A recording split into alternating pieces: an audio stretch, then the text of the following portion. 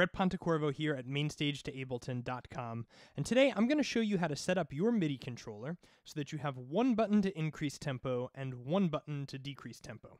Now, if you're not using something like the Push 2, this can be a really desirable ability to be able to push the tempo up or push the tempo down.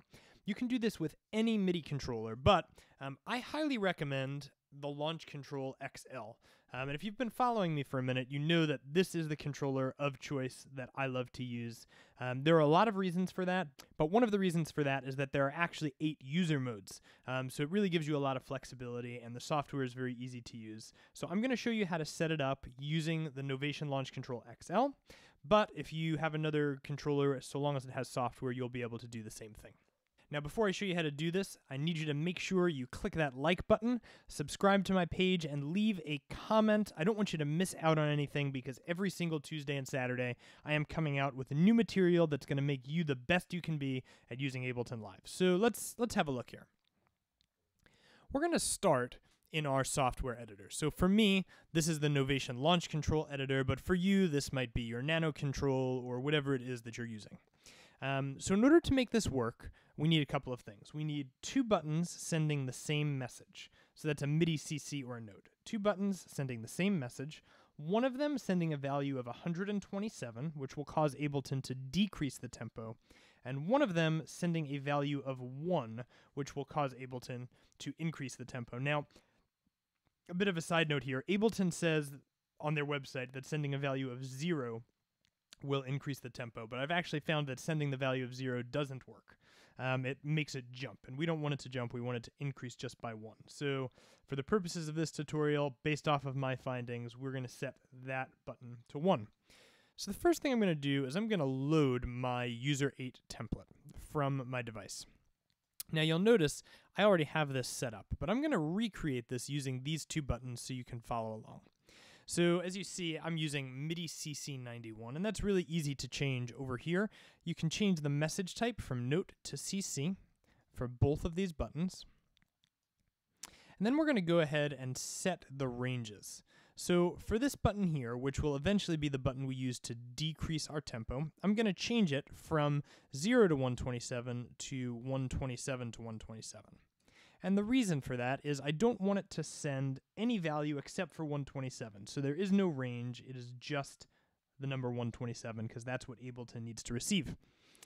Now over here on this button, I'm going to change the CC, the control message, to 59 so that it matches because remember, both of these buttons are serving the same purpose.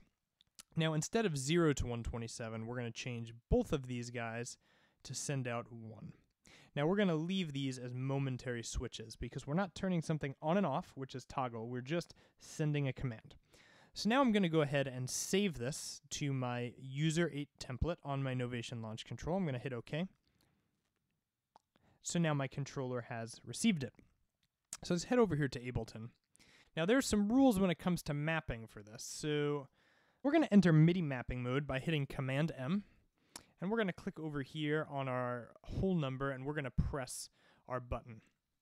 Now we need to make sure down here that our mode is set to relative twos, which it came up automatically for me, but if it doesn't for you, you do it down here. And now we need to adjust the minimum and the maximum. Now there's a bit of a strange rule for this.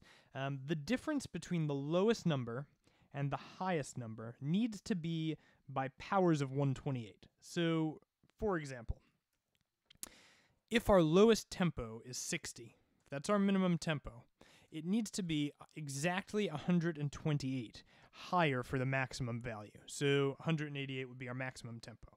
Now, what if you need a larger range? Well, 128 times 2 is 256, and let's say our lowest um, value is still 60 plus 256, then our maximum value would be 316. Using any other values is going to make a jump by not whole numbers, and that's not desirable, right? So let's go back to Ableton. And we're going to set our minimum to 60. And remember, we need 128 times 2, and that's going to put our maximum at 316. Cool. All right, let's go ahead and give this a test here. So I'm going to exit MIDI mapping mode, and I'm going to go ahead and I'm going to press my down button. Check it out.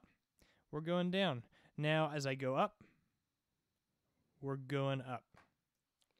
So just so you can see better what I'm doing, these guys are my buttons that I've mapped. And so as I hit this up button, you'll see on the computer my increased tempo. And you'll notice the colors are starting to change, right, as that uh, tempo. And here I'm hitting my down button, and you see the tempo decreasing. All right, friends, it's that easy to set up two buttons to move your volume up and down in Ableton Live. Now, if you like what you see, don't forget to like this video, subscribe to my channel, leave a comment, tell me what you think. I would love to hear from you. And take a second to head over to my website at mainstagetoableton.com forward slash go get plugged in, sign up for my newsletter. I'm going to send you a free copy of my ebook, The Fast Track Patch List Guide. It's really awesome. You're going to love it. It teaches you how to build a patch list in Ableton. And I send out freebies here and there. So you're going to want to get your hands on everything I'm sending out. Make sure you sign up. I'm looking forward to connecting with you there.